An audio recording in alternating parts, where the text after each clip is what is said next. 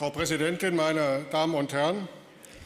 Mit diesem Antrag wollen wir den Senat auffordern, mit den gegenwärtigen Anteilseignern der GASAG, mit Vattenfall, mit E.ON und GDF Suez Gespräche aufzunehmen, mit dem Ziel, Mehrheitsanteile an der GASAG zu erwerben.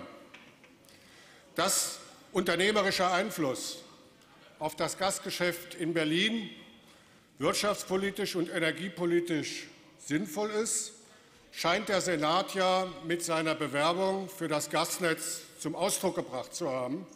Denn man würde sich nicht um das Gasnetz bewerben, wenn man der Meinung ist, es macht keinen wirtschaftlichen und es macht keinen energiepolitischen Sinn. Nur glaube ich, dass die Bewerbung um das Gasnetz als alleiniger Schritt zu kurz gesprungen ist. Sehen wir uns die Konstellation nach dem Ausscheiden von Alliander aus dem Konzessionsverfahren an. Es gibt nur noch zwei Bewerber. Das ist die GASAG und Berlin Energie, das sich um 100 Prozent des Netzes bewirbt. Und damit sind für den Ausgang dieses Konzessionsverfahrens eigentlich nur zwei Szenarien denkbar. Das erste Szenario, ich rede jetzt nicht über die Wahrscheinlichkeiten dieser Szenarien, Berlin Energie ist erfolgreich, übernimmt das Gasnetz und die GASAG verfügt über keinen Netzbetrieb mehr.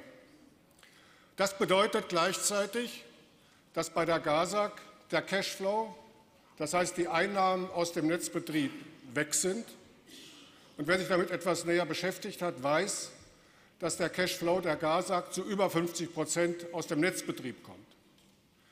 Gleichzeitig, das war deutlich geworden in den Diskussionen der letzten Wochen und Monate, sind eigentlich alle Fraktionen in diesem Hause der Auffassung, dass das neue Geschäftsmodell der GASAG als Energiedienstleister, als Energiemanager, als Unternehmen, das auch in quartiersbezogene ähm, Energiekonzepte investiert, ein sinnvolles Konzept ist. Dazu braucht das Unternehmen aber Investitionsmittel. Wenn ich dem Unternehmen den Cashflow wegnehme, ist die GASAG nur noch eine reine Handelsorganisation, eine Hülle und wird nicht mehr in der Lage sein, diese Funktion zu erfüllen.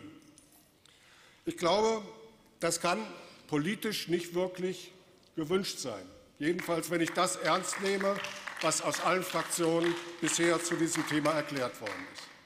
Und auch die Überlegung, die ich von einigen aus dem Abgeordnetenhaus gehört habe, na ja, wir nehmen der GASAG erst das Netz weg, dann ist sie nichts mehr wert und dann kriegen wir ganz leicht die GASAG, glaube ich, ist zu kurz gesprungen und berücksichtigt nicht die Tatsache, dass hier nicht nur das Land Berlin und die GASAG-Player ist, sondern dass wir es hier mit drei Eigentümern zu tun haben, die alle wirtschaftliche Probleme haben, insbesondere E.ON und Vattenfall, und die alles, also das Letzte, was die tun würden in einem solchen Falle, wäre, dass die den Kaufpreis für die äh, GASAG, äh, für, die, für die Netzanteile im Konzern in der GASAG lassen, sondern die würden das natürlich nach Abbezahlung der Kredite auscashen und an ihre Eigentümer ausschütten, und die würden das weiter suchen. Das wäre das Resultat, und ich sage, das kann politisch nicht gewünscht sein.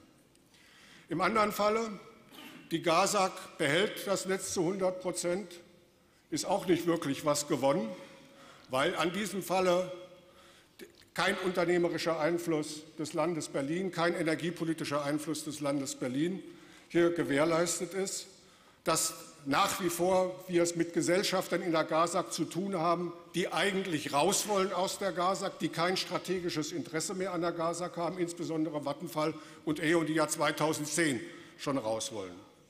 Und deshalb sage ich, wenn man will, dass das Land energiepolitischen Einfluss auf das Gasgeschäft nehmen kann, wenn man will, dass die GASAG als Energiemanager erfolgreich ist und die Investitionsmittel dafür hat, wenn man will, dass die GASAG eine stabile Gesellschafterstruktur hat, in der das Land Berlin auch was zu sagen hat und das Land Berlin Einfluss darauf nehmen kann, und wenn man auch will, dass wir nicht nur ein Stadtwerk haben ohne Kunden, sondern ein Stadtwerk mit Kunden, der muss dafür sorgen, dass der Senat in Eintritt in Verhandlungen mit den Gesellschaftern der GASAG über den Erwerb von Mehrheitsanteilen, möglicherweise gemeinsam mit kommunalen Partnern.